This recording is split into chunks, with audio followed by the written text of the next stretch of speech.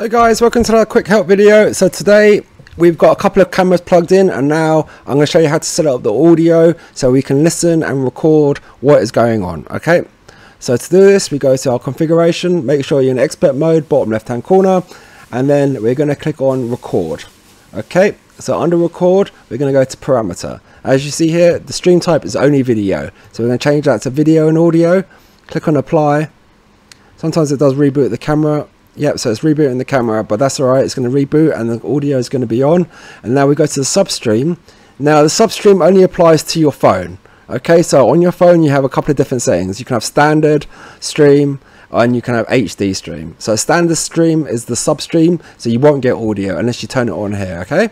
So it's going to apply it on here. But if you just want to have no audio on your substream and audio on your mainstream, then don't turn this on here. Okay, we've got an error failing because the, the camera's rebooting.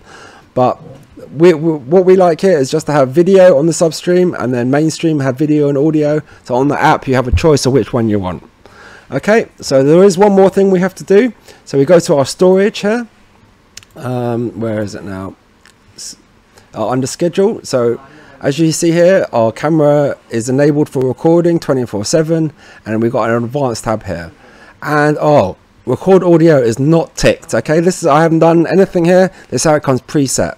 So you think you have the audio you can hear audio doesn't mean it's recording. So now we go click on record audio go okay apply. Now when our camera does reboot it's going to be listening to audio and recording audio 24 7 all right guys so that's how you set up uh, uh, an ip audio camera via an nvr thanks for watching and i'll catch you on the next one. Cheers bye bye